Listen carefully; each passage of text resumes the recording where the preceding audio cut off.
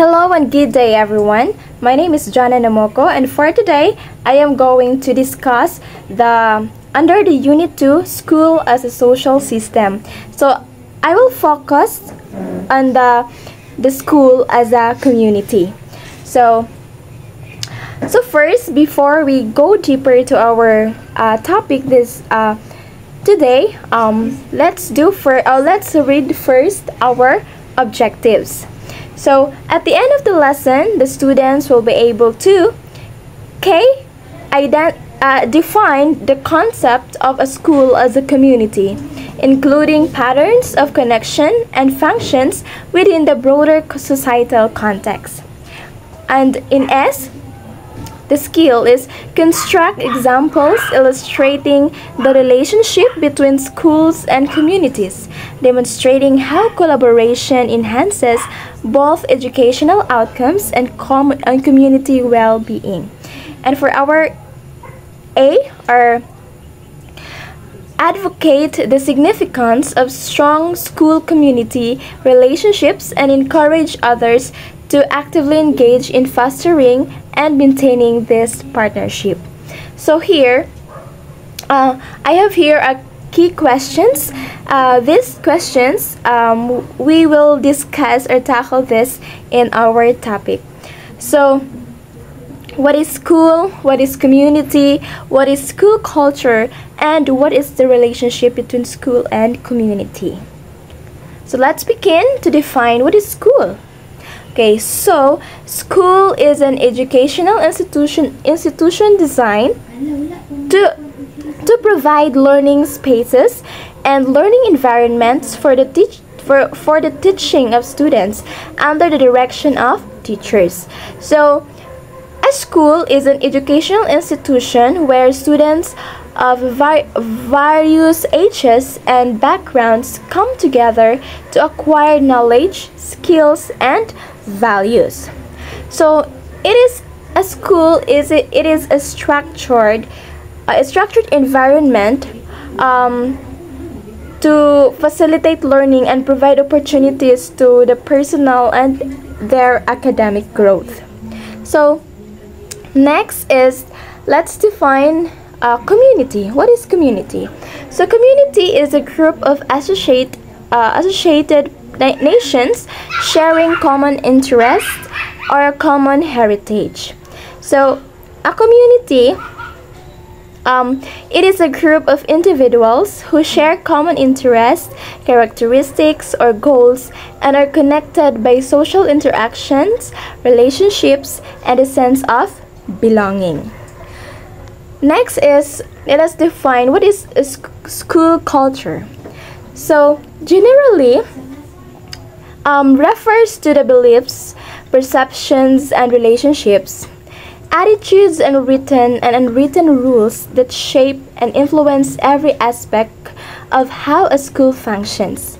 School culture refers to the, to the shared values, beliefs, norms, and traditions, and also practices that shape the overall atmosphere and environment within a school.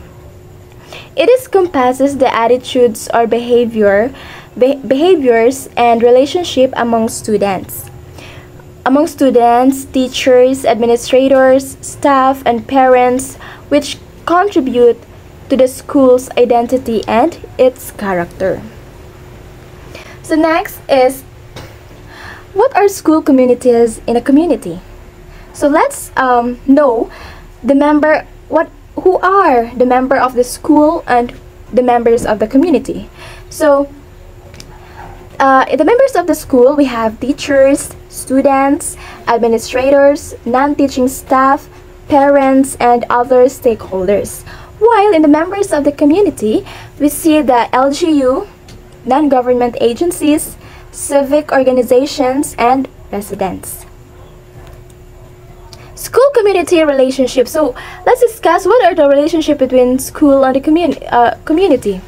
So the members of the school will be will be the members of their local community, reflecting its beliefs and values that conveyed through the action, behavior, and attitudes of pupils, teaching and non-teaching staff, parents, governors, and the local educational agency.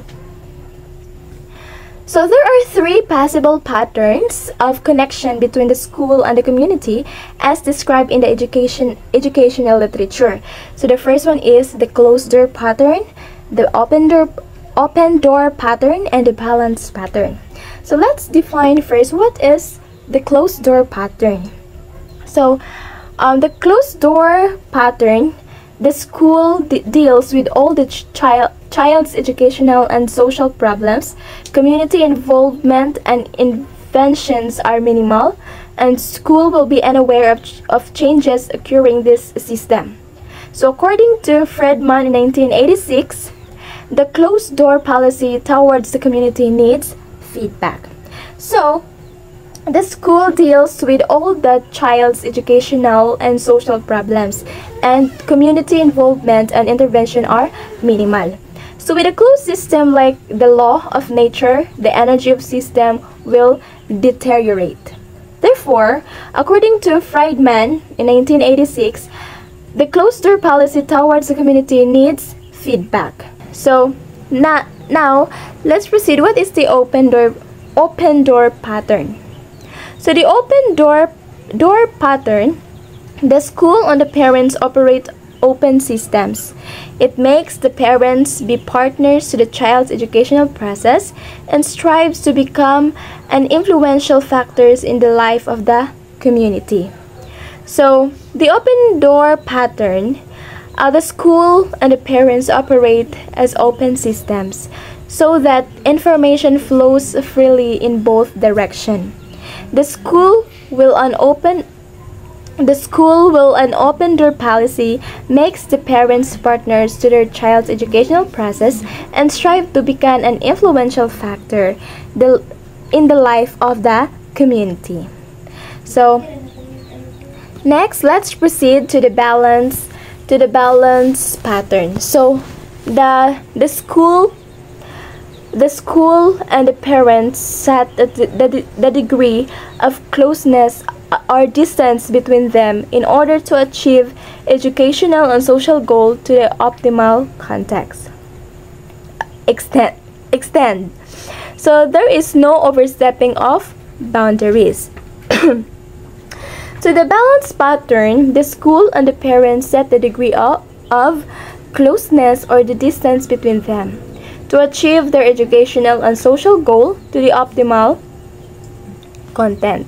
So here, I have here an example of a school local community partnership.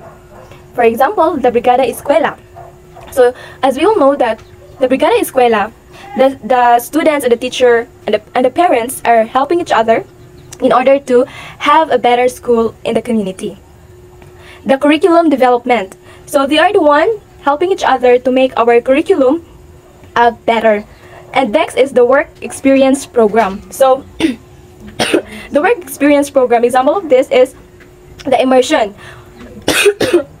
where the students are allowed to um, to go through in the community to to engage themselves in and share their skills through um, through working.